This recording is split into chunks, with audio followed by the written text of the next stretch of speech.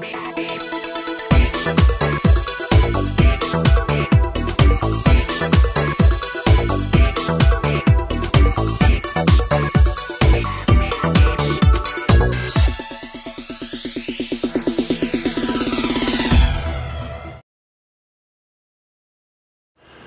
Welcome, my name is Charles Abramson and I'm a Regents Professor of Psychology at Oklahoma State University and Lawrence Hill Boger Professor of International Studies.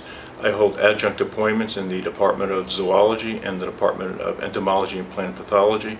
I'm a comparative psychologist with over 30 years of experience and I've worked with animals uh, ranging from ants to elephants to humans in a wide variety of applied and basic research uh, questions. As a working definition of comparative psychology, I offer you this. It's a branch of psychology that seeks out and studies the similarities and differences in the behavior of organisms. And don't make the mistake that comparative psychology only studies animals. Far from it. Here's something written in 1913, a year before World War I, by Walter Hunter, comparing the performance of animals, a wide variety of animals, by the way, in children. If you were to ask me what are some of the more inter interesting things in my career, I would point to many things. One is working with a honeybee one day, an elephant the next, and a human on the third day. I've also worked with honeybees to study problems of alcoholism, and I'm part of a research team investigating the molecular mechanisms of learning in two honeybee subspecies. It's a very, very exciting life. At the PhD level, the typical jobs will be university and college professor where we do teaching and research, supervise students. You'll find us in psychology, in sociology, in departments of biology, zoology, entomology, in schools of agriculture, animal science, and veterinary medicine. It's a degree at the PhD level that will allow you to work in many kinds of jobs in academia, not to mention in the business world. If earning a PhD is not your interest at this point, though, I would recommend that you would do that, and you uh, would like to end at the master's or bachelor's level, you can also find jobs. Some of these jobs you can do at least some research and some teaching. You'll find them in zoos, wildlife sanctuaries, pharmaceutical companies, veterinary clinics, uh, even major companies such as Petco and PetSmart where you're not working on the floor, but you're actually developing products and uh, testing products. You can also get a job as a behavioral analyst because you're going to have a unique set of skills working with so many different organisms. In addition to a behavioral analyst, you can also work in the areas of human-animal interactions. For example, you can use, uh, you, you, can work with a veterinarian to uh, use pets in therapy, such as equine therapy. You can also do therapy on pets. Think of the horse whisperer, the dog whisperer, the turtle trainer.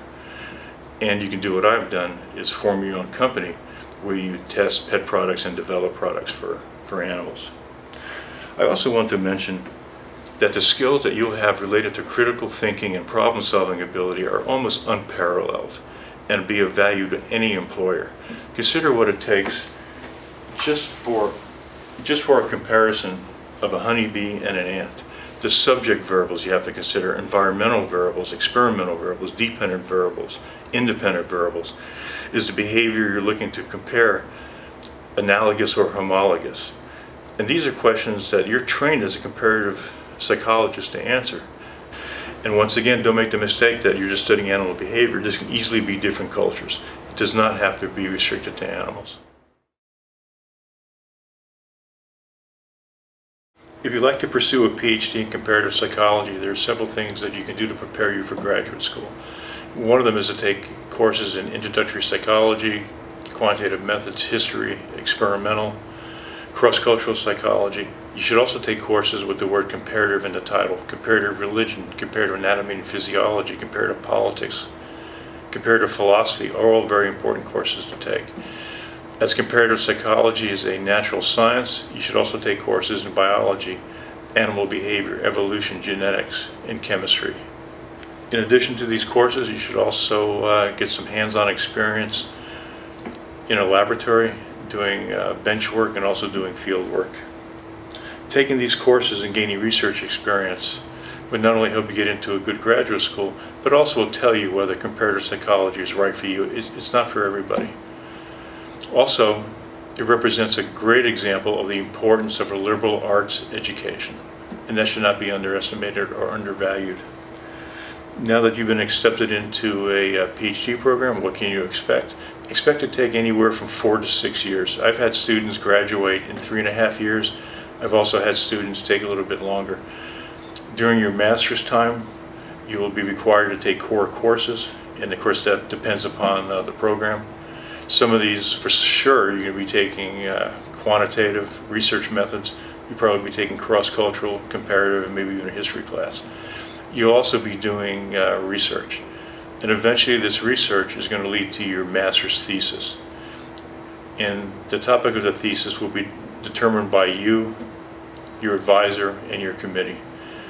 Once you've done that research project and you've successfully defended it, now you move on to your PhD. And the PhD, you'll be taking more courses, but not of the type that you had as a master's student. Many of these courses you might consider uh, electives. Our students can take courses in animal science, in the zoology department, in uh, philosophy if they choose to do so. There'll also be a heavy component of research hours. You're going to be doing research quite a bit. Eventually, you'll pass a qualifying examination or a comprehensive examination, in our program, you can either do it uh, through a major review paper or a several hour exam. Once you've passed this, you begin your dissertation project once again in concert with your advisor and your, uh, your committee. And once that is done, you successfully pass it, you're now a, uh, a successful PhD.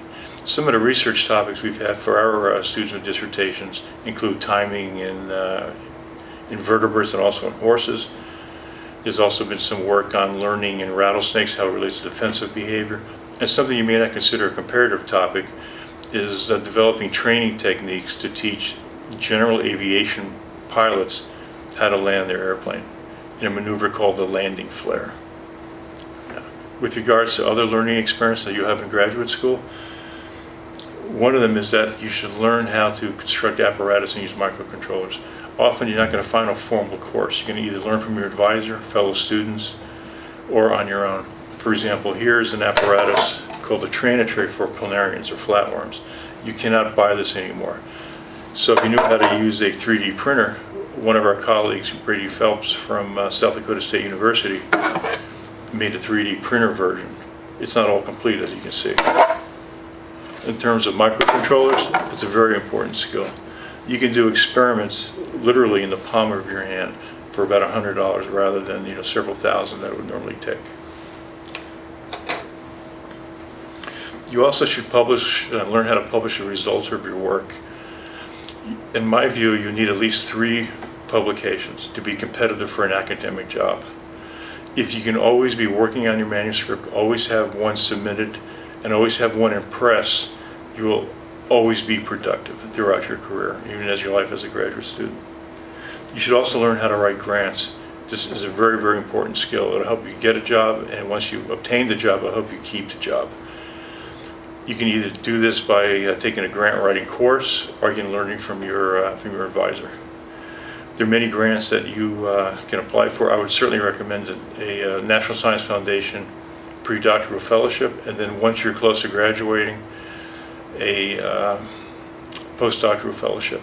There's also many private uh, foundation grants you can uh, obtain, Sigma Xi, Fulbright, uh, many, many different kinds of organizations. Coca-Cola Company also give out money. Also, try to become a graduate student representative on a job hiring, a faculty hiring committee. It's an eye-opener it's also a good experience to show you what you can expect when you start on you start uh, going on the job market. Also network and go to conferences and introduce yourself. Talk to other comparative psychologists. That becomes very, very important. You never know what kind of opportunities are going to arise from, just meeting other comparative psychologists. And finally, as comparative psychology really is a cross-cultural psychology, I would recommend that you uh, try to find a time to learn a foreign language you might find that your work will lead you to other countries as it has with, uh, with mine. And by knowing the language, it'll make data collection easier, and also it'll just be uh, a more enjoyable experience interacting with people in their own language. At the high school level, my best advice would be for you to read the work of contemporary comparative psychologist and contact us. You can contact us uh, by just looking at the bottom of an article and you'll find our, our information. I get requests all the time from students at all levels of the educational system about comparative psychology and we're always happy to answer those, those questions. If your high school permits you to take college classes, many do, I'd certainly recommend that you take a course with the word comparative in the title. That'll really give you a nice idea. Also try to volunteer at laboratories in, at your local uh, college or uh, university. Take advantage of summer science academies. That's also a nice way to know whether this is what you would like to do. In terms of uh, college, there are going to be many opportunities for you for research and scholarships at the undergraduate level. First, I'd recommend that you seek out professors, and this may not be the common advice, seek out professors almost as soon as you get on campus. Start your career early. Some people may say, well, you know, it's good to wait till you're junior or senior, but then, you know, in some cases it's too late. Because remember, a comparative psychologist has to acquire skills. And the earlier you do that, the better it will be. With regards to scholarships, the number and amount will vary depending on your university. But in general, I think you can always find money from either a professor or one of the scholarship programs to fund your research for at least a semester, if not a year. Our university has many of these programs, and I'm sure that's not, uh, that's not unique. Another program that you uh, should apply for, which is very, very important, is the National Science Foundation Research Experience for Undergraduate Program. This is called NSF-REU. It's a summer program where you spend about six weeks or so, all expenses paid, doing some sort of directed research. It's, it's an excellent program. There are even some that, uh, that are international in focus, for example, going to Turkey to conduct research. You can find out a lot of the information about NSF-REU by just going to the National Science, uh, Science Foundation website. My advice for prospective graduate students would be the same. Contact professors you may want to work with as early as you can. Try to establish a relationship read the articles, ask questions. Uh, in closing, I'd just like to say if I can offer some advice, uh, feel free to, to contact me. Thank you.